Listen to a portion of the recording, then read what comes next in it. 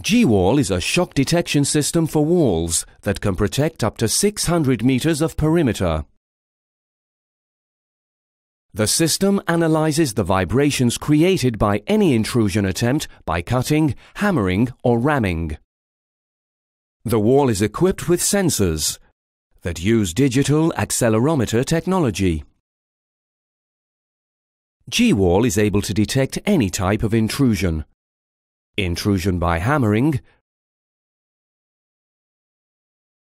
by cutting or ramming.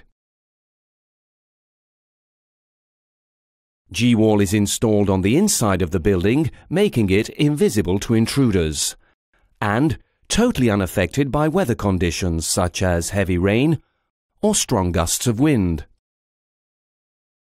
Thanks to its very large sensitivity range, G-Wall can detect intrusions on very rigid supports.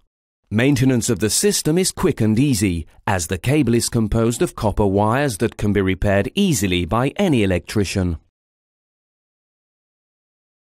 Whenever there is an intrusion, the alarm information is communicated from G-Wall's control unit to the control room. In the control room, there are many different ways of processing the alarm information. Triggering a simple visual or audible alarm. Possibility to associate a visual alarm verification via the video system. Displaying on a screen the exact location of the intrusion using a site plan. Guard intervention to arrest the intruder. G-Wall is a high-security perimeter intrusion detection system.